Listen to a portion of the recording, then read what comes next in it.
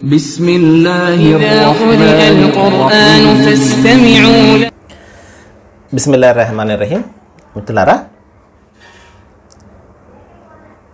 ప్రపంచంలో సత్యము కనబడుతూ ఉంటుంది అసత్యము కనబడుతూ ఉంటుంది నాణ్యానికి రెండు వైపులు ఉంటారు కదండి సత్యము అసత్యము సహజంగా సత్యం దాని యొక్క శక్తి చాలా బలమైనటువంటి శక్తి కలిగి ఉన్నప్పటికీ కూడా అది అణిగిపోతూ ఉంటుంది ఎందుకంటే అసత్యము తాత్కాలికమైనటువంటి శక్తితోటి దాన్ని కప్పేస్తుంటుంది. సామెత కూడా మనకు చెప్తారు కదండి అసత్యం సత్యం చెప్పులు తొడుక్కునే లోపు అసత్యం ఊరంతా తిరిగేసి వచ్చేస్తుందని చెప్పేసి. సరే.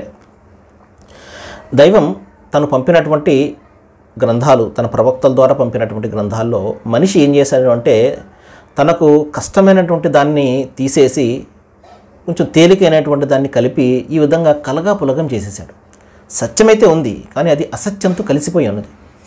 కష్టమైన దాన్ని అతను తీసేశాడు. ఈ విధంగా దైవ గ్రంథంతో అతను చెలగాటలాడాడు.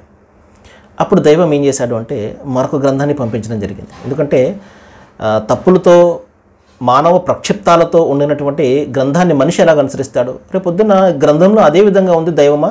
అందుకు నేను ఆ విధంగా చేశానని చెప్పేసి దైవం వద్ద అతను ఫిర్యాదు చేసే అవకాశం ఉంది.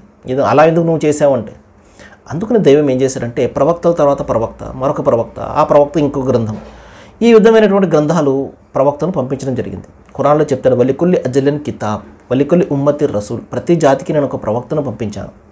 వలికుల్లి అజలిన్ కితాబ్ ప్రతి ఆ ప్రవక్తకు గ్రంథాన్ని కూడా ఇచ్చానని చెప్పడం జరిగింది. చిన్నదో పెద్దదో దైవం. గ్రంథం అంటే ఒక మాన్యువల్. ఏ విధంగా గడపాలి ఏ విధంగా చేయాలి ఏం చేయాలి ఏం చేయకూడదు అనే ఒక ధర్మశాస్త్రం అనమాట ఒక శాస్త్రం. ఇచ్చాడు ఏం చేయాలి నువ్వేం చేయకూడదు. ఆరాధన ఎలా చేయాలి ఎవరికి చేయాలి ఎలా చేయాలి ఇవ ఇత్యా ఇత్యాది విషయాలన్నీ కూడా ధర్మం అంటే సోదర మహాసలరా అంతిమ దేవగ్రంథం మూడో అధ్యాయం డెబ్బై ఒకటో వాక్యంలో ఏం చెప్తున్నాడు అంటే మీరు సత్యాన్ని అసత్యపు రంగుతో కలిపి దాన్ని కలగాపులగం అనగా అనుమానాస్పదం ఎందుకు చేస్తున్నారు? బుద్ధిపూర్వకంగా సత్యాన్ని ఎందుకు దాస్తున్నారు? అని చెప్పడం జరిగింది.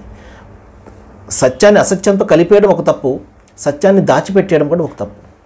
కాబట్టి ఇవన్నీ కూడా ప- పండితులు ఎవరైతే ఉన్నారో ఆ కాలంలో ఉన్నటువంటి పండితులు ఎవరైతే ఉన్నారో తమ ప్రాబల్యాన్ని కాపాడుకోవడం కోసం ఏం చేసేవారు అంటే ఆ ఈ విధంగా ఉన్నది శాస్త్రం ఈ విధంగానే చెప్తుంది. శాస్త్రం ఎందుకంటే ఇతనికి తెలియదు కదా ఇతనికి జ్ఞానం లేదు ఇతను స్వయంగా ఈ విధంగా దైవ గ్రంథంలో ఏముందో తెలియకపోతే వాళ్ళు ఏ విధంగా దాన్ని అనుసరిస్తారు? సోదర మహాశిలారా. కాబట్టి సత్యాన్ని అసత్యంతో కలపకండి అని దైవం ఇక్కడ ఆజ్ఞాపిస్తున్నాడు. రండి ఇస్లాంలో తెలుసుకుందాము. సర్వేజన సుఖునభవంతు థ్యాంక్ యూ